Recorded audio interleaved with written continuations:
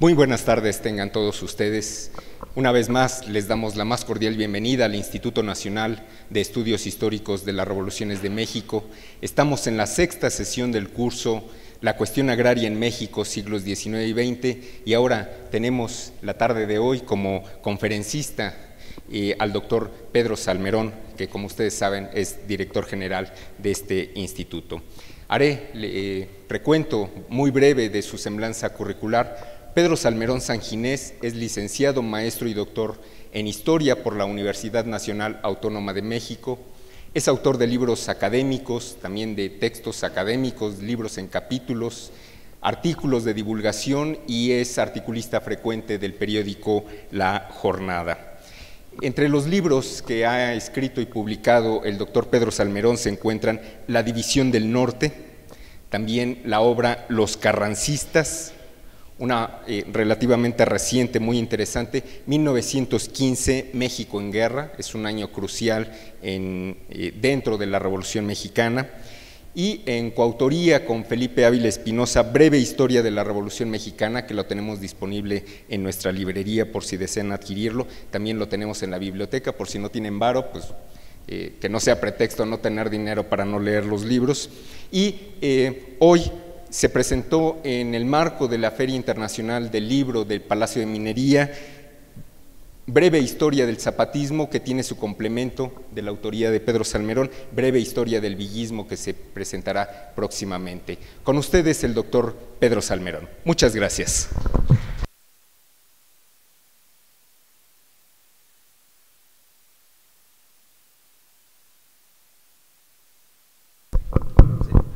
Gracias, buenas tardes, qué bueno que están aquí. Estamos apenas arrancando esta nueva etapa.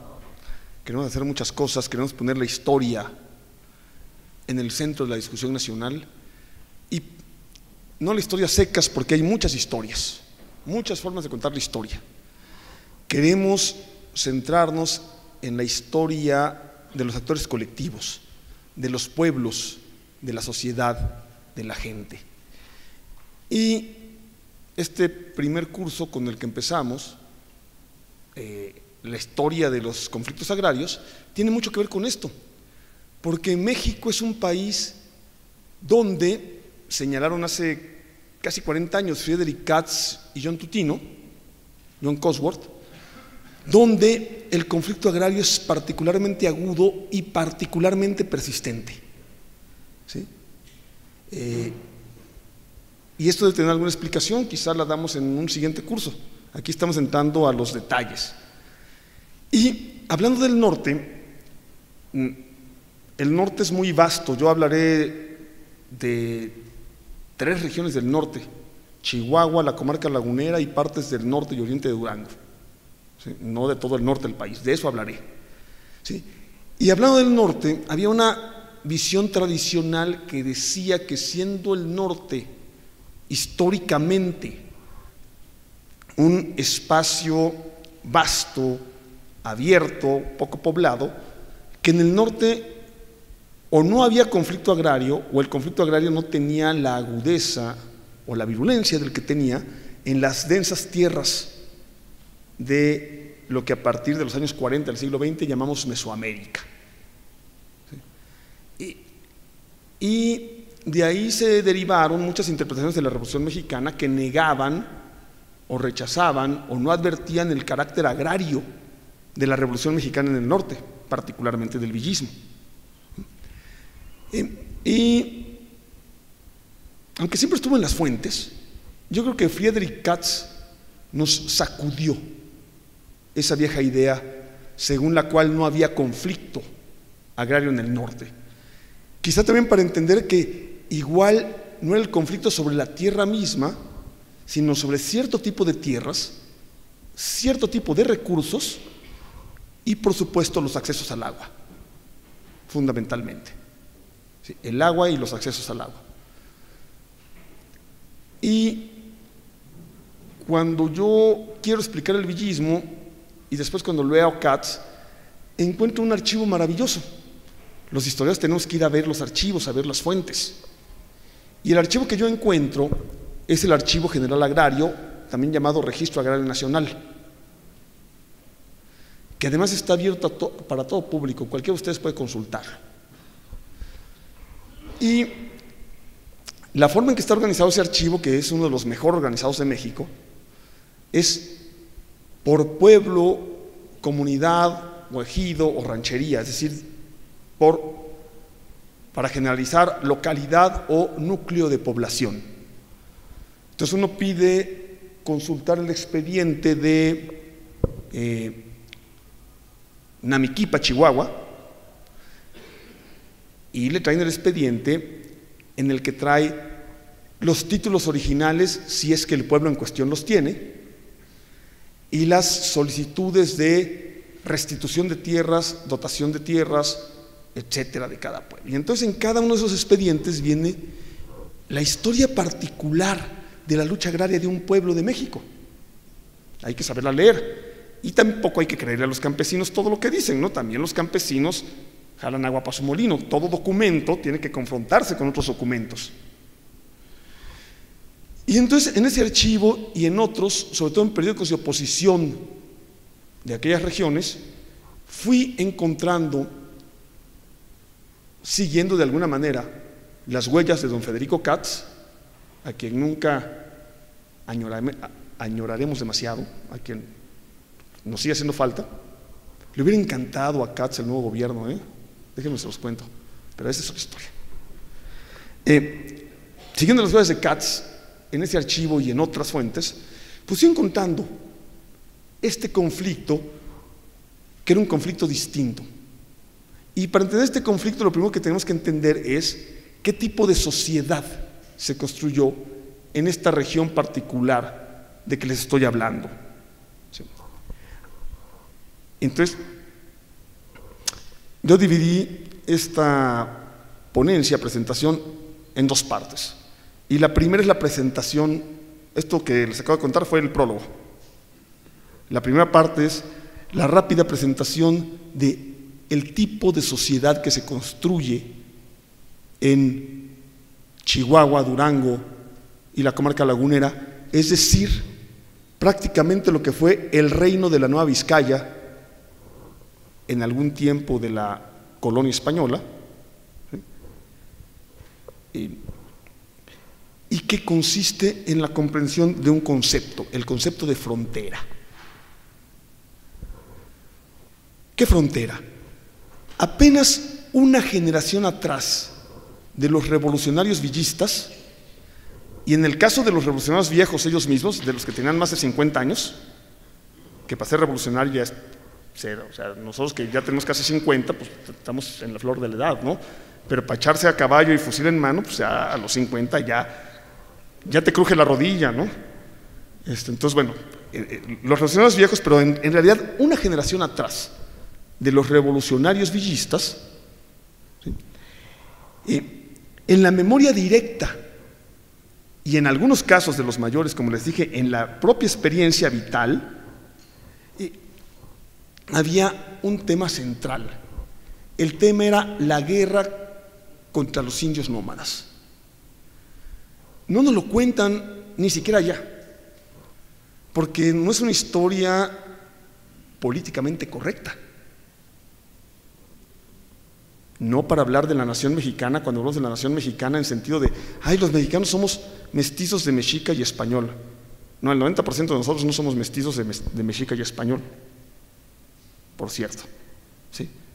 Pero cuando nos cuentan esta historia, no entra en esta concepción de la historia la idea de que el tema central en el siglo XIX, en el estado de Chihuahua, Durango, Sonora, Coahuila, Tamaulipas, un poco menos Nuevo León, pero también, el tema central de la vida cotidiana y de la historia era la guerra permanente contra el nómada. En el caso en particular de Chihuahua contra los apaches. Y esta guerra permanente forja esta idea de la que tenemos que partir, la idea de frontera o frontera cultural y la idea de sociedad de frontera.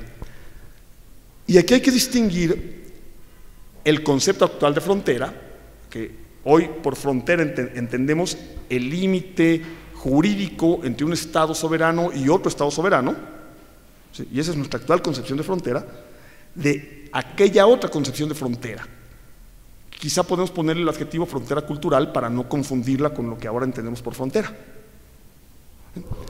Y una frontera cultural es la que se construye durante la Edad Moderna, básicamente entre los siglos XVI y XIX, entre las sociedades llamadas civilizadas o autonombradas civilizadas, es decir, capitalistas, y capitalistas en expansión, y las sociedades bárbaras. En ambos casos, tanto civilizado como bárbaro va con comillas. Hablo de cómo se referían a sí mismos, donde por bárbaro se entiende no solo el no capitalista, sino fundamentalmente el nómada o seminómada. Y como no hay hasta, el siglo, hasta la segunda mitad del siglo XIX, no hay una tecnología bélica que le dé una superioridad irremontable al, civilizado. Estas, estas regiones de frontera son regiones en guerra permanente donde la guerra permanente es muy largo o muy difícil de terminar, de acabar con la guerra. A fines, del siglo XIX, la segunda mitad del siglo XIX, apareció el fusil rayado de repetición y ahí sí, o tienes fusil rayado de repetición o no lo tienes y punto. Pero hasta ese momento, en realidad, ni los cañones, ni los mosquetes, ni ningún arma del civilizado es tan superior a la del bárbaro que les permite acabar la guerra a través de la guerra misma o de la pura guerra. De hecho, los españoles y sus aliados, nahuas, fundamentalmente los tlaxcaltecas, otomís, etcétera, ganan la guerra chichimeca no mediante la violencia, sino que encuentran mecanismos distintos. El mecanismo para acabar hacia 1600, 1610 con la guerra chichimeca fue una cosa que se llamó paz por compra. Encontraron los indígenas mesoamericanos y sus, aliados españoles, para invertir los términos, porque ya hablaremos de eso luego. Los indígenas mesoamericanos y sus aliados españoles encontraron que la forma más barata de acabar con la guerra chichimeca era pagándoles a los chichimecas para que no hicieran la guerra. ¿Sí?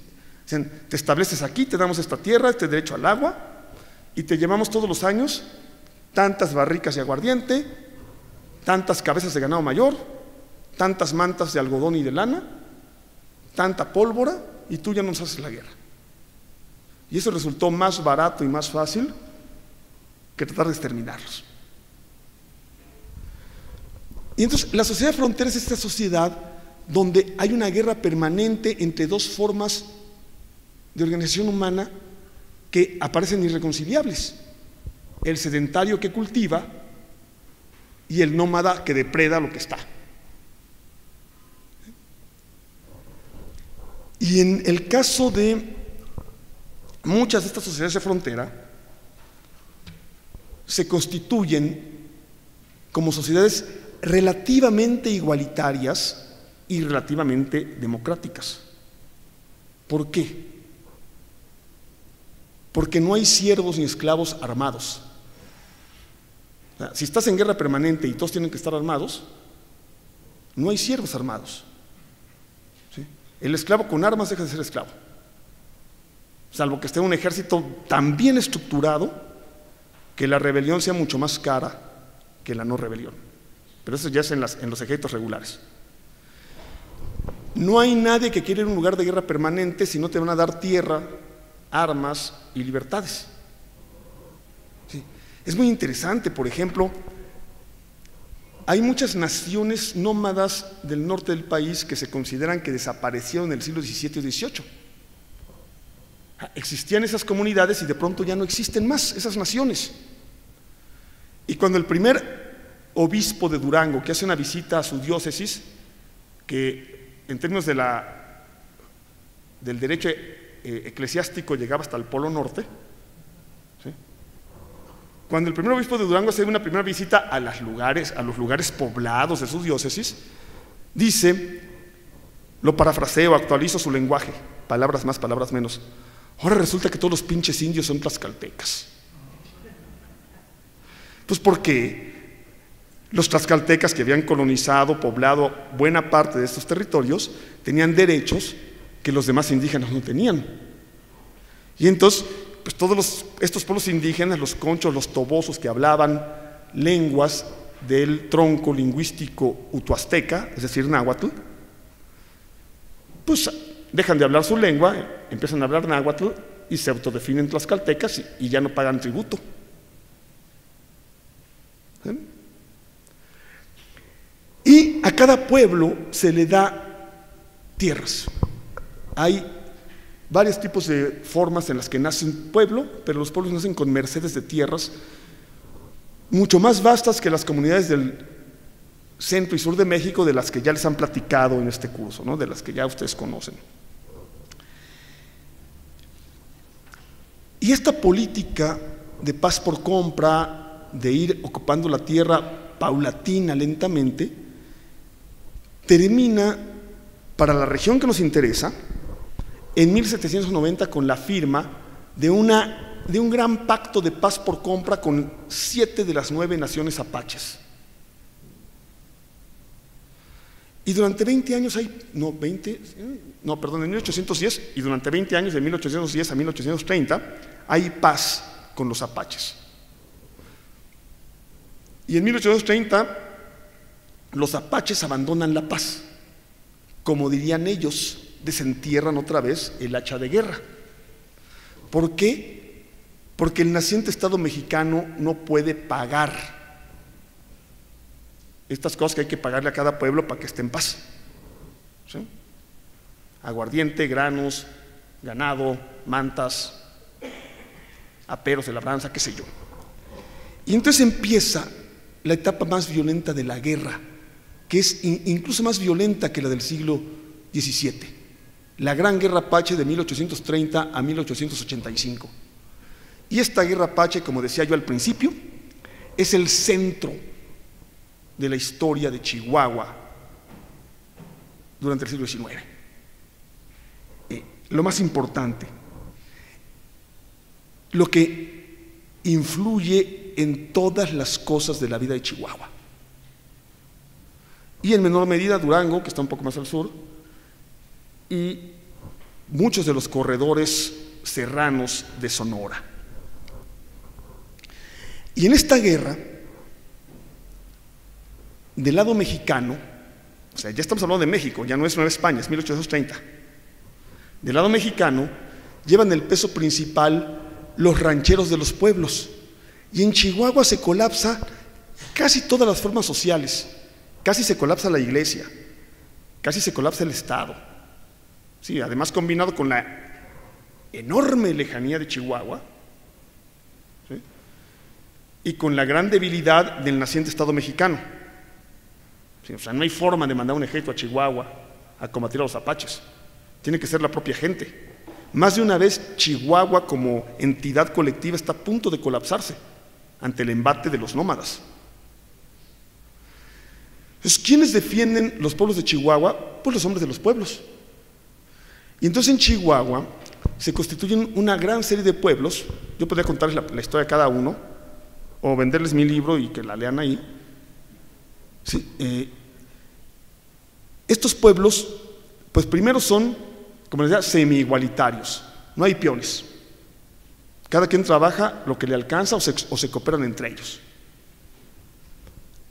prácticamente no hay pobres y prácticamente no hay ricos, porque si no tienen, perdón para los que crean las mentiras del capitalismo, si no tienes a quien explotar no puedes ser rico. Tampoco hay ricos porque casi no hay comercio, el comercio es pequeño. Otra forma de enriquecerte, si no tienes peones, es a través del comercio. Tampoco hay mucho comercio. Chihuahua está bien lejos, pero bien lejos es bien lejos. Y como se hace la guerra entre iguales contra el nómada, hay una sociedad militarizada semidemocrática El que manda, manda porque lo eligen sus vecinos. Entonces viven más o menos bien o más o menos mal. Casi todos los testimonios dicen que en general, salvo cuando los apaches se ponen muy violentos, les gusta esa vida. Y luego además secuestraban mujeres de un lado para otro. Odio decirlo para los compañeros feministas, pero las mujeres son botín de guerra, de un lado y de otro. Entonces, como dice mi querido y admirado colega Víctor Orozco, de San Isidro, Chihuahua, y nieto del general Pascual Orozco, pues todas las familias de esos pueblos tenemos sangre apache. ¿Por qué? Pues porque así como los apaches secuestraban muchachas de los pueblos, pues la gente de los pueblos también se chingaba una partida apache y se llevaba a todas las muchachas. ¿Sí? Entonces, digo, salvo cuando los apaches se ponían particularmente violentos, en general en una vida, todos los... Es, es como el viejo oeste, el viejo oeste es otra sociedad de frontera, ¿no? ¿Y hasta cuánto dura esta guerra? ¿Cómo se acaba esta guerra? estas guerras se acaban en todo el mundo y el imperialismo clásico nace en todo el mundo. Bueno, cuando el capitalismo industrial es una potencia, pero cuando los de un lado tienen fusil rayado de repetición y los del otro lado no lo tienen. O aunque tengan el fusil, no tienen las, las balas que hay que poner al fusil. Ahí se acaba la guerra.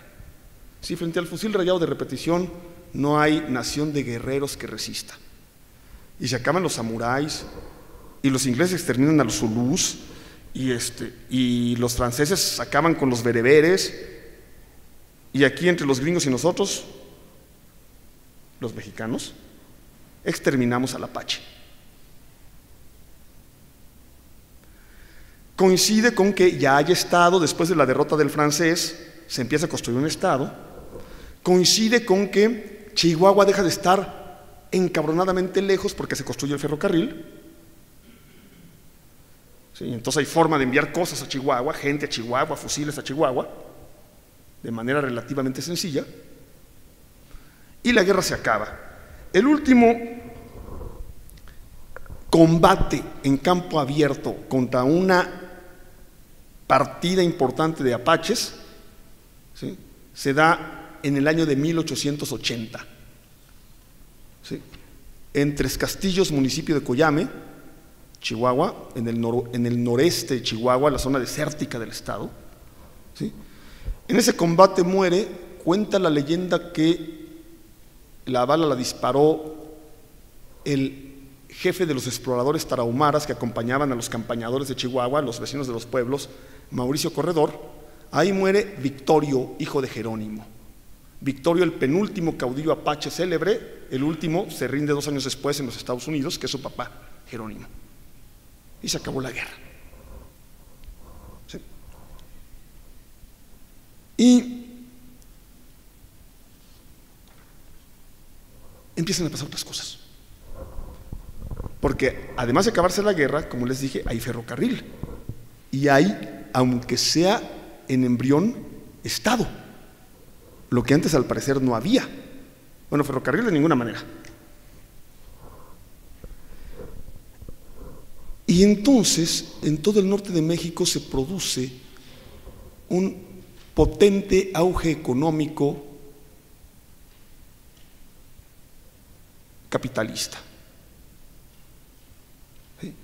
Hasta entonces, aquellos jefes o políticos importantes que tenían títulos de tierra sobre vastas extensiones de tierra, ni las podían explotar o dejaban que las explotara quien quisiera, y eran aliados en términos políticos y militares de los rancheros de los pueblos, de estos hombres más o menos iguales, más o menos democráticos, que forman la base fundamental de la sociedad de frontera en Chihuahua.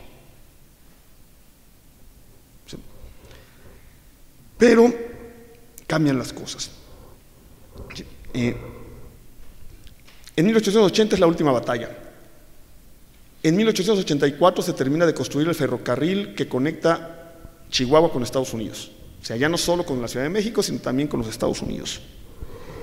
Y La frontera, en ese momento, la frontera deja de ser esta frontera cultural que hemos descrito, esta región de combate permanente entre el bárbaro y el civilizado, para convertirse en la frontera tal como la entendemos ahora, es decir, el límite político entre dos estados. Entre dos estados con muy diferente nivel de desarrollo económico, pero es otra historia. Y al acabarse la inseguridad permanente, la violencia permanente, al poder comercializar lo que se produce, se dispara el precio de la tierra y el interés sobre la tierra. Y las haciendas tituladas, que hasta entonces, como les decía, estaban vacías o ocupadas por otras gentes, o eran terrenos de casa de los vecinos de los pueblos, empiezan a recibir una cosa que cualquiera que sepa historia agraria de este tipo de regiones entenderá y que entenderán quizá con una poesía de Mario Benedetti musicalizada por Daniel Biglietti, El alambre de púas. Aparece una cosa que no existía, una cosa física, porque luego se nos olvida que la historia se hace con cosas. O sea, hablamos de ejércitos y se nos olvida que los soldados tienen la muy mala costumbre de comer todos los días y de preferencia tres veces. Sobre todo si los hace poner a caminar, ¿no? Y de que a los soldados hay que ponerles guaraches mínimamente, preferentemente botas, pero por lo menos guaraches. Y se nos olvidan ese tipo de cosas, la cosa concreta. Entonces les, les hablé de una cosa concreta que es el fusil de repetición. Les hablo ahora de otra cosa concreta, el alambre de púas. Los hacendados empiezan a acercar sus líneas, como se llama en términos agrarios, a alambrar sus potreros. En esas tierras que hasta entonces habían sido de todos o que tenían poseedores, gente que vivía ahí desde 40 años atrás y que cultivaba esa tierra o, ponía a pastar sus ganados, dependiendo en Chihuahua de, de si hay agua o no hay agua, ¿no? Bien, entonces ya les expliqué un primer actor colectivo, los rancheros, los vecinos de los pueblos.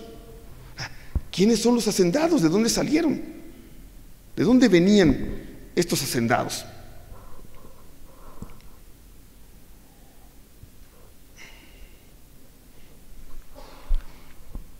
Había en Chihuahua viejos latifundios titulados menos que en Durango y que en Coahuila, pero también en Chihuahua, a títulos de Castilla, como se les decía,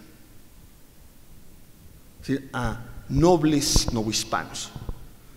Pero más aún que en Durango y que en Coahuila, esos hacendados tenían sobre sus tierras el título de propiedad y 20 o 30 peones que les hacían pastar sus chivos y sus vacas. Y, por supuesto, como en toda la América española, vastísimos latifundios ligados a la iglesia, donde también había 20 o 30 peones que ponían a pastar a los chivos. Los latifundios laicos colapsaron económicamente todos, y cuando digo todos quiero decir casi exactamente eso, entre 1804 y 1820. Y para 1830 ya todos los fraccionaron o los vendieron o los abandonaron. Y los latifundios eclesiásticos son expropiados por la ley del 12 de julio de 1859, la primera de las leyes de reforma. Y todos pasan a propiedad del Estado. Entonces, es una cosa curiosa. En 1860, en Chihuahua, prácticamente no hay latifundios, ni siquiera en términos jurídicos. O sea, ni siquiera estos latifundios que existen en el papel, pero no en la realidad. Entonces, ¿de dónde nacen los latifundios de Chihuahua? Primero, eh, la ley de expropiación de Juárez tiene la intención también de generar recursos para el Estado y de generar una burguesía nacional, por lo tanto los latifundios expropiados a la iglesia se van a subastar. con esta doble intención. Pues entonces algunos caudillos liberales de Chihuahua, entre ellos quien era gobernador en 1865, don Luis Terrazas y Enríquez, pues compran a precio de regalo un montón de tierra. Mucha de ella vacía, pero algunas de ellas también ocupadas por gente que vivía ahí y que la explotaba por su cuenta y riesgo. Y ahí empieza.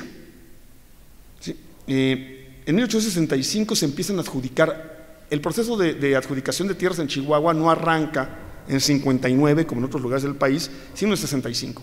Y ahí se adjudican tierras, les digo, a precio de regalo, a jefes y caudillos del Partido Liberal, estando Juárez en Chihuahua. Acuérdense que en 65, la capital de la República, está un tiempo en Chihuahua y otro tiempo en 66 en Paso del Norte. Estando Juárez en Chihuahua, adjudica tierras. Eh, y las ponen a su nombre, pero eso otra vez como antes, de momento no significa casi nada, porque faltan por lo menos 15 años para que acabe la guerra Apache. Entonces, titulan tierras a su nombre y de momento no pasa mucho más que eso. Pero, exterminado el Apache en la década de 1880, y por lo tanto con la posibilidad de contratar peones, casi todos traídos de fuera de Chihuahua, empieza a ocurrir esta primera parte del proceso. Los hacendados, cuando es necesario apoyados por la fuerza pública, ya hay fuerza pública, empiezan a alambrar sus líneas, acercar sus potreros. Es decir, a adueñarse de esa tierra que hasta entonces en la práctica había sido de todos, había sido tierra pública. Si hubiera acabado ahí, igual tampoco era tan grave. Pero, como ustedes saben, los capitalistas no tienen llenadero. ¿Sí? Cuando empieza el capital, cuando empieza el proceso de acumulación capitalista, no hay llenadero. Y el verdadero conflicto entre las haciendas y los pueblos empieza en la coyuntura de 1884-86. ¿Qué pasa entonces? Eh, siendo presidente Manuel González, se dictan las leyes de terrenos baldíos y colonización. Y estas leyes son una maravilla, son, no es que las leyes porfirianas son una chingona. A, mí que no me vengan a contar que el porfiriato es la continuación del juarismo, porque, bueno, lo discutimos en serio, muy en serio. Sí. Por ejemplo, en 1884 se reforma el artículo 27 constitucional, con lo cual se acaba con la idea latina, no solo española, de que el propietario originario de la tierra es el Estado, que puede cederla en propiedad privada, entregarla en propiedad privada, pero solo la tierra, no el subsuelo. En 1884 se cambia esa ley para que el dueño de la tierra sea también dueño del subsuelo. Y además se acaba esta idea de que la tierra es originariamente la nación. No, la tierra es del propietario en garantía. Eso es lo que permite que nuestros recursos naturales del subsuelo sean propiedad directa de los oligopolios británicos y estadounidenses.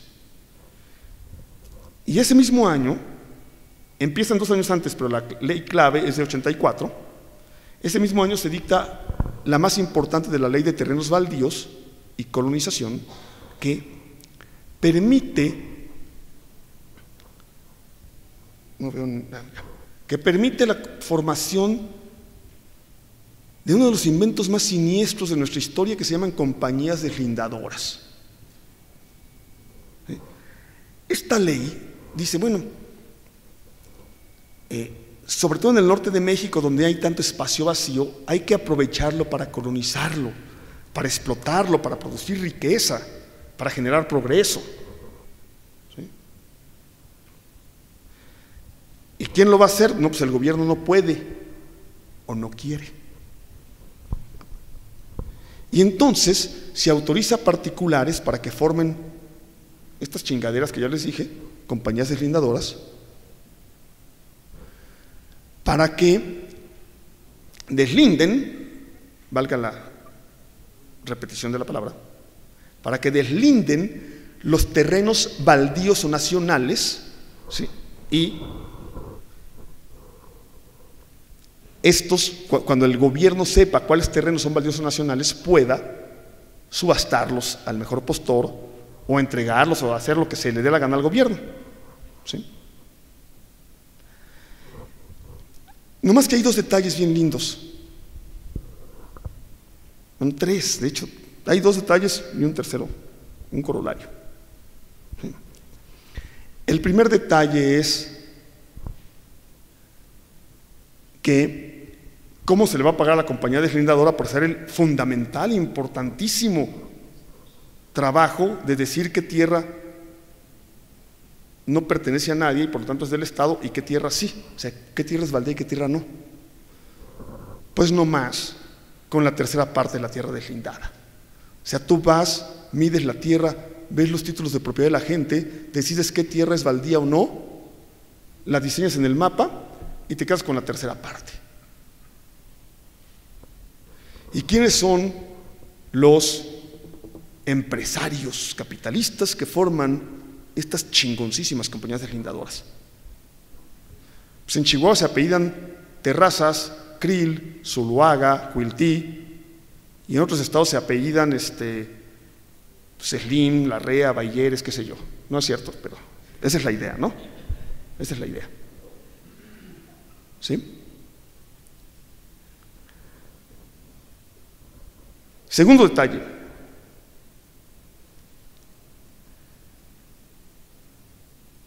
Estas tierras no respetan, o sea, la idea es, ¿qué es terreno baldío? Terreno baldío pasa a resultar que es todo aquel que no está titulado. Baldío, en su origen etimológico y en su definición, significa vacío, desocupado.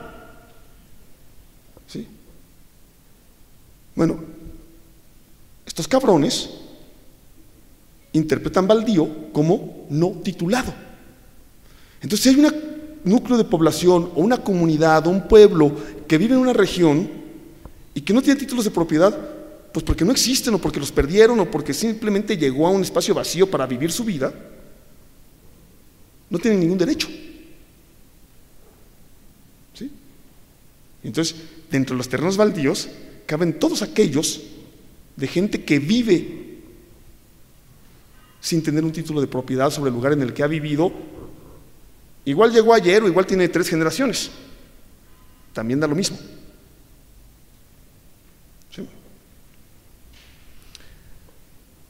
Y entonces se lanzan de 1882 a 86, 87 sobre esas tierras y las empiezan a apañar porque resulta entonces que las tierras en Chihuahua se convierten en un gran negocio.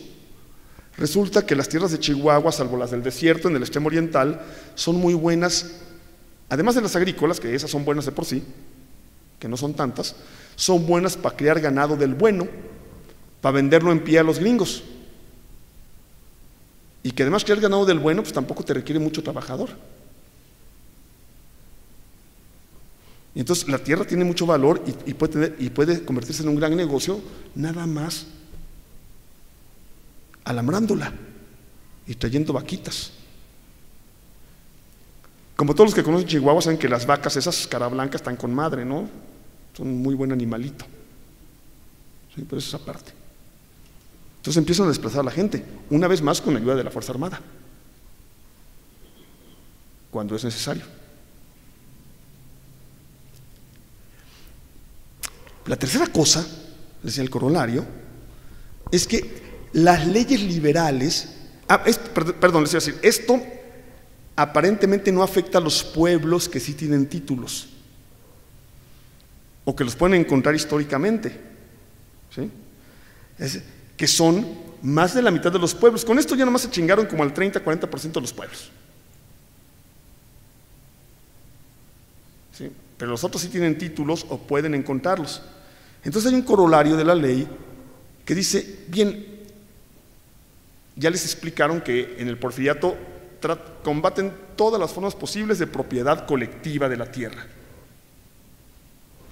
Entonces, en el norte había una forma de propiedad colectiva, no comunidad como en el, o, o con dueñazgo como en el centro sur, porque en general la tierra agrícola está adjudicada a título personal, y entonces eso se parece tanto a la propiedad privada que ni siquiera los porfiristas pueden tocarla.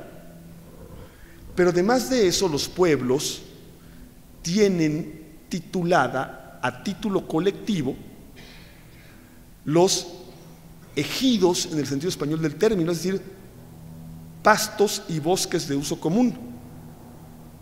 Bueno, como esos eso no se los reconocen y entonces la siguiente ofensiva viene contra los cotos de casa y los pastos de los pueblos.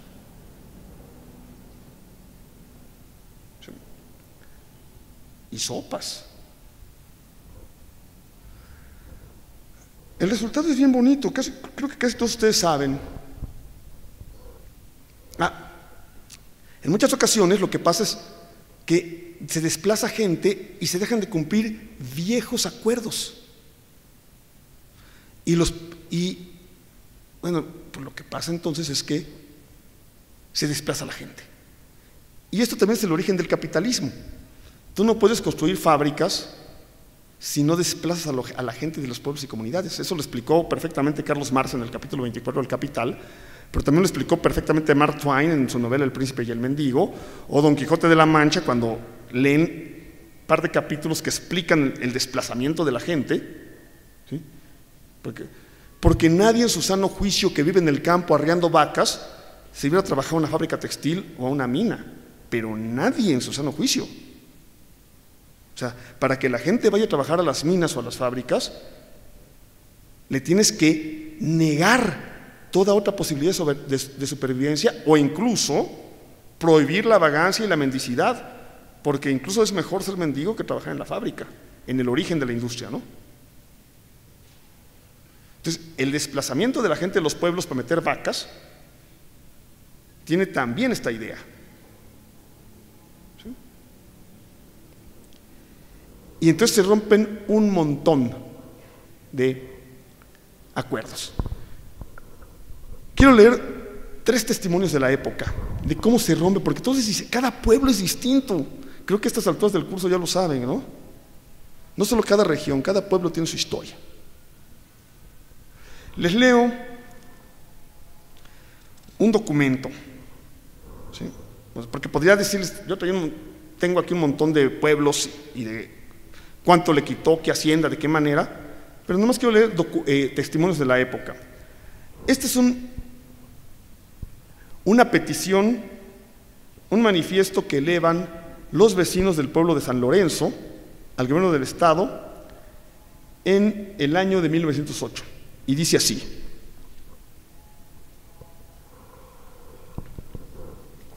La agricultura de temporalidad que como se ha manifestado antes, es el único elemento de vida en estas comarcas, sufrirá el año próximo una rebaja de más de la mitad, porque actualmente un gran número de labradores que hacían sus siembras como arrendatarios en las haciendas de Coyotillos y Remedios, propiedades colindantes con los pueblos de San Lorenzo, Santa Rosalía y Santa María, dejarán de hacerlo.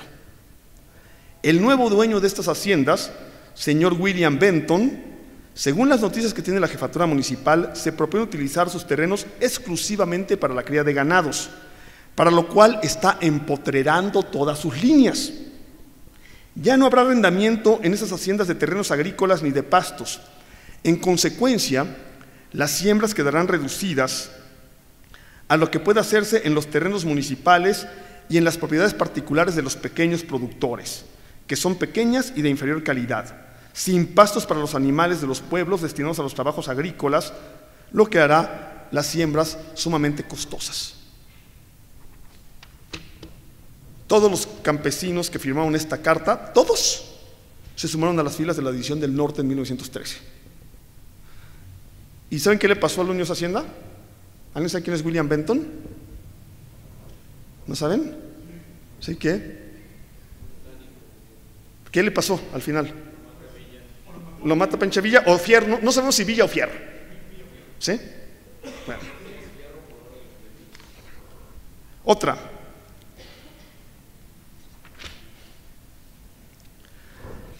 ¿Cómo se quejaban estos pueblos? Esta es una queja de 1907 del pueblo de Namiquipa protestando ante el gobernador porque le quitaron los ejidos. ¿Sí? 80 mil hectáreas ejidos. Dice, todas las haciendas vecinas, agobiadas por las amenazas y agresiones de los bárbaros, estuvieron abandonadas desde el año de 1832. Solo el pueblo de Namiquipa sostuvo esta lucha asoladora, siendo el único baluarte de la civilización en aquellas apartadas regiones. Y ahora vemos con profundo pesar que esos terrenos que estimamos nuestros, porque los recibimos de padres a hijos y los fecundamos con el trabajo constante de más de un siglo y con nuestra sangre, van pasando a manos de extraños mediante el sencillo denuncio y el pago de unos cuantos pesos.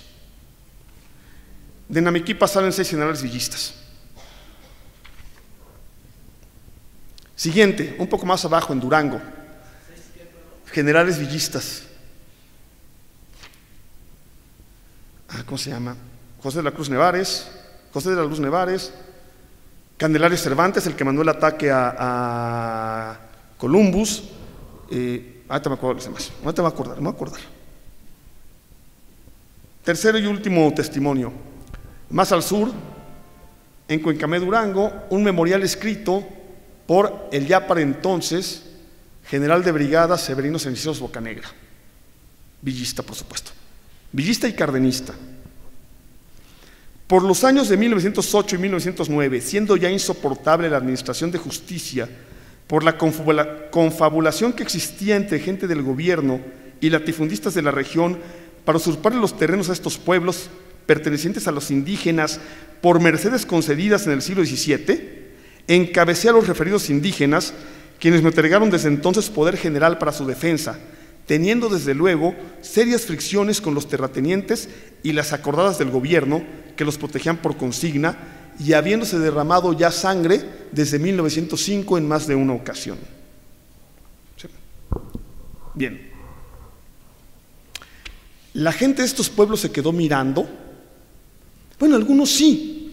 Y algunos de los desplazados, también hay que decirlo, encontraron buenos trabajos. En Chihuahua había sueldos relativamente altos y condiciones relativamente favorables para el trabajo, porque si no encontrabas chamba en Chihuahua o en Parral, pues te ibas a Estados Unidos, estaba muy cerca. Entonces tenían que ofrecer condiciones relativamente favorables y salarios relativamente altos. Entonces sí, muchos de los desplazados se colocaron como mineros, como obreros, Muchos de los pueblos conservaron buena parte de sus tierras y entonces siguieron siendo mitad rancheros, mitad peones, mitad vaqueros. Muchos, como lo acaba de decir el libro maravilloso de Jesús Vargas Valdés, que después de muchos años por fin publicó, eh, prefirieron irse a la sierra y entonces explica, como ya lo había explicado Katz, cómo el bandolerismo en Durango y el abigeato en Chihuahua estaban bien vistos por la gente de los pueblos. Las vacas eran de todos, las tierras eran de todos.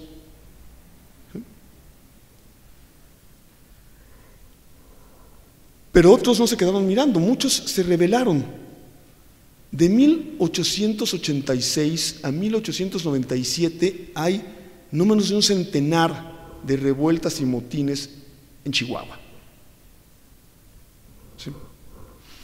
La más famosa es la que se centra en el pueblo de Tomochic en 1891, que además es un año, muy significativo.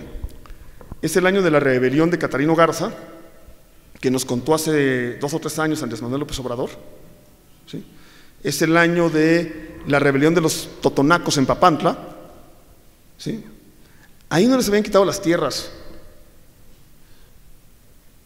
Solamente que toda la vainilla que se producía tenía que ser comercializada por una empresa cuyo dueño era el primerísimo suegro de la República, Romero Rubio. Siempre dicen, no, Porfirio Díaz no se corrompió. No, hombre, pero su suegro, su, su suegro, su hijo, espérenme, ¿sí? Entonces, no, este, la rebelión pues de los papantrecos, las rebeliones del sur del Estado de México, de muchos pueblos que luego serían zapatistas, que documentó hace poco Romana Falcón en un libro titulado El jefe político. Hay una serie de rebeliones, pero son reacciones en defensa de los recursos y no se articulan nacionalmente. La rebelión de Tomochi es seguida por la rebelión de 15 pueblos de Chihuahua y es una rebelión que nos han contado como una rebelión milenarista, como la que cuenta Mario Vargas Llosa en la Guerra del Fin del Mundo.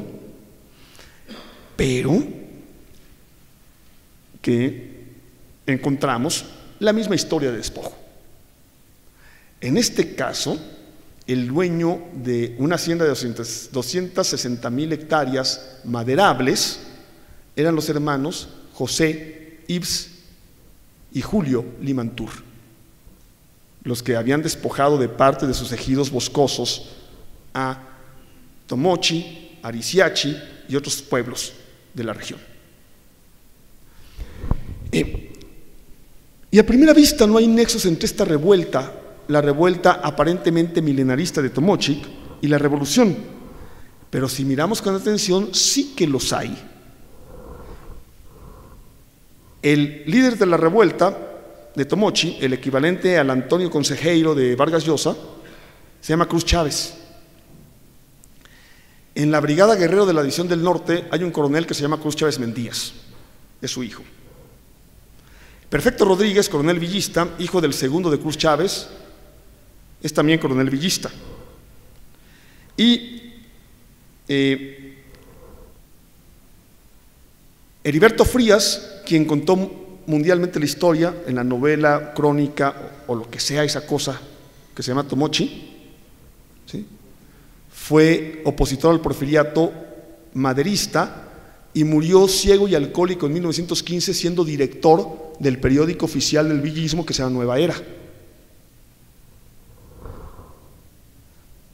Y un general revolucionario, primo de Pascual Orozco, Marcelo Carabeo, escribió, dice, hay nexos indirectos, diría, está el orgullo regional, sabíamos que 300 rancheros podían enfrentar a 5 mil soldados. Y escribe textualmente, nos inspiraba la rebelión de los tomochitecos, pues ellos habían podido luchar bizarramente contra la federación, nosotros también. Muchas gracias.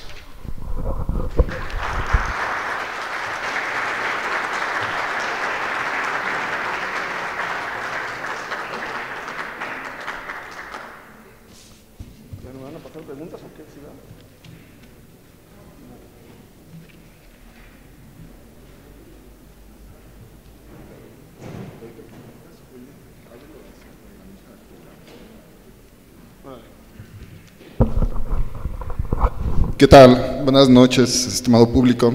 Eh, mientras el doctor lee las preguntas que le, hicieron llegar, voy a anunciar las actividades para la próxima semana, para que pues, nos acompañen. El martes 26 de febrero proseguimos con el curso La cuestión agraria en México, siglos XIX y XX, con la participación del doctor Armando Bartra, que nos hablará sobre las plantaciones del sureste. El miércoles 27 de febrero a las 6 de la tarde los invitamos a la conferencia sobre José María Vigil con la participación de la doctora Evelia Trejo Estrada del Instituto de Investigaciones Históricas de la UNAM. También los invitamos a que escuchen nuestros programas de radio por las frecuencias del IMER, eh, la XCB en el 1220 AM y Horizonte en el 107.9 de la FM. Eh, los sábados es el curso, bueno, el programa de radio Historia del Pueblo Mexicano a, a cargo del doctor Pedro Salmerón y del doctor Felipe Ávila, de 9 a 10 de la mañana. Y los domingos, La Buena, que es la revista cultural radiofónica conducida por Gabriela Cantú y Luis Aguilar, los domingos de 9 a 10 de la mañana. También los invitamos a que sigan las páginas del INERM en Twitter, Facebook, YouTube e Instagram.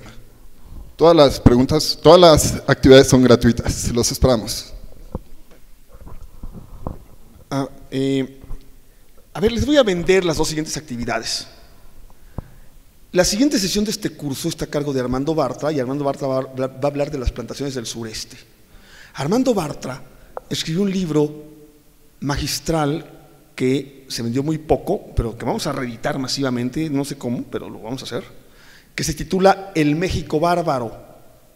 Y el México Bárbaro retoma evidentemente el título y hace un homenaje, evidentemente, al, a la gran crónica de John Kenneth Turner, que los, los dicen que es falsa, que son exageraciones. No. Armando Bartra demuestra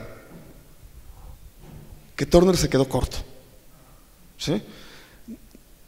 No hay, a menos que sea analfabeto o incapaz de comprender, no hay nadie que después de leer el libro de Armando Bartra pueda seguir defendiendo la política agraria del porfiriato.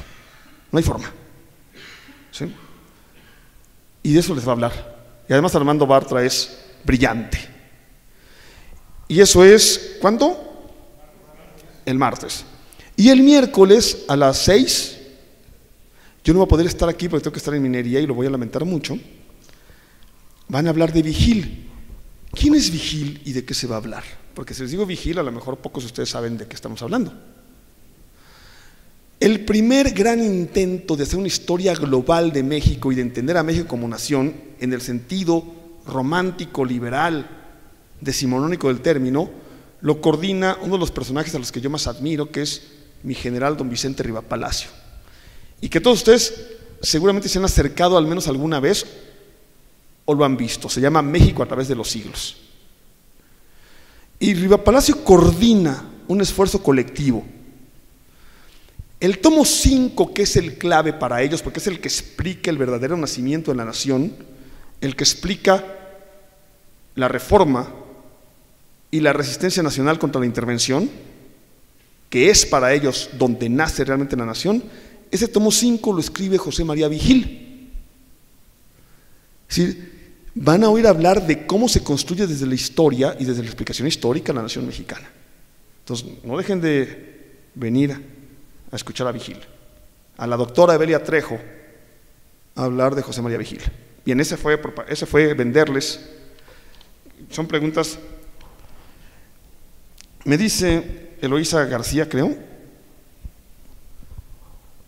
que si se permitirá aquí una forma de interpretación de la historia, aquí se van a permitir todas las formas de interpretación de la historia, en particular sobre el marxismo. Acabo de mencionar a Marx, se permitirá el marxismo, el marxismo y cualquier otra.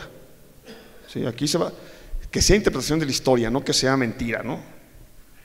Aquí se va a abrir la puerta, ya lo estamos haciendo, a todas las sesiones serias y apenas estamos arrancando, pero a partir del año que entra vamos a empezar a discutir en serio y este año la discusión en serio, en serio, en serio, va a ser sobre el quinto centenario.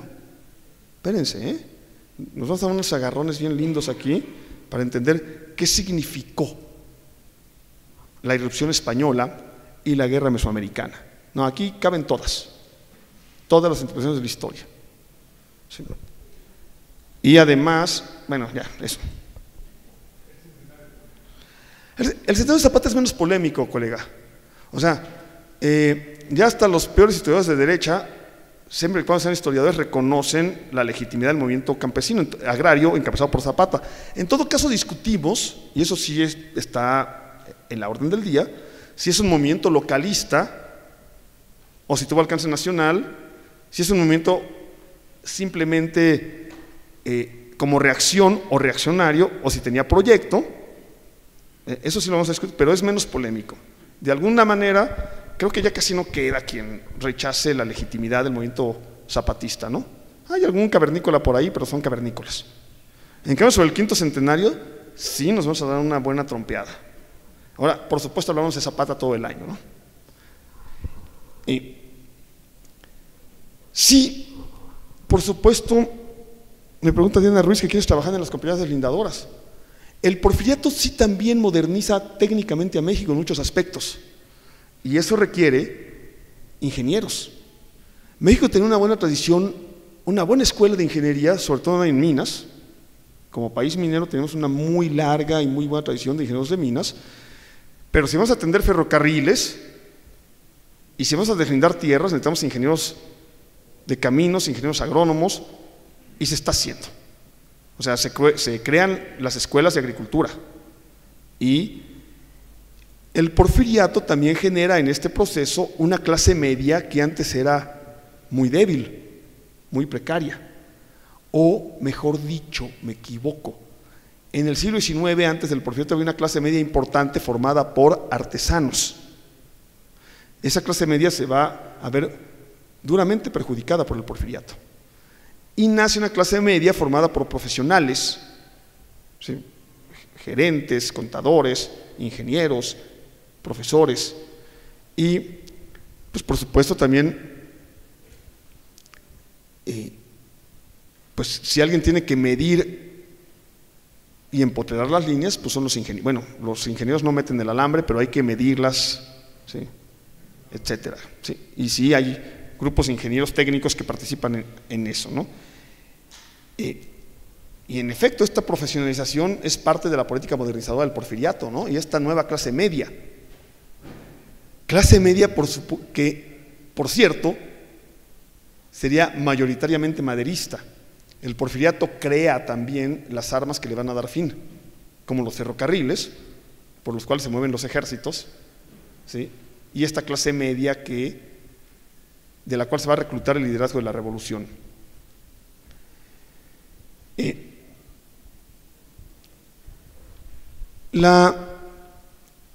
los apaches firman la paz, buena parte de las naciones apaches, en 1810. Y se vuelven a levantar en 1830. Cuando se levantan en 1830,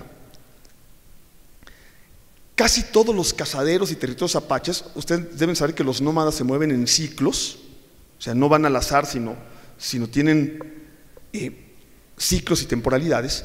Casi todos los cazaderos apaches y estos ciclos están en territorio todavía mexicano. Pero hay una coincidencia. No solo es que el Estado mexicano, como simplifiqué yo, bueno, todo lo que dije ahorita fue simplificación, pueden comprar este libro del villismo, donde también está simplificado, o el libro de la División del Norte, donde lo explico un poco más en detalle. Eh, no nada más es que el Estado mexicano ya no pueda pagar a los que están cobrando, es que hay una presión demográfica muy potente que no había habido antes. ¿sí? Eh, como se dijo en el foro de ayer o antier aquí, sobre los tratados Adams-Onis, eh, en 1804 Napoleón Bonaparte le regala a los gringos los dos millones de kilómetros cuadrados de la cuenca del Mississippi. Y en un momento en el que Europa está expulsando población y a una región fertilísima y muy bien comunicada. Ah, un irlandés o un alemán o un polaco que llegan a Nueva York con una mano atrás y otra adelante, cuatro días después pueden estar sembrando la tierra en la cuenca del Mississippi. Y empieza a llegar esta población que multiplica por cuatro la población de Estados Unidos en un lapso de 15, 20 años. Pero no es un vacío, eran territorios de los nómadas. Y entonces empiezan a empujar a los nómadas hacia otro lado, a expulsarlos. Y estos nómadas empiezan a expulsar a su vez a otros nómadas. Y entonces son los nómadas expulsados de la cuenca del Mississippi que empiezan a presionar los territorios de los apaches, que empiezan a reducir drásticamente las formas de vida de los apaches, que a su vez entonces empiezan a presionar hacia el sur, hacia Chihuahua.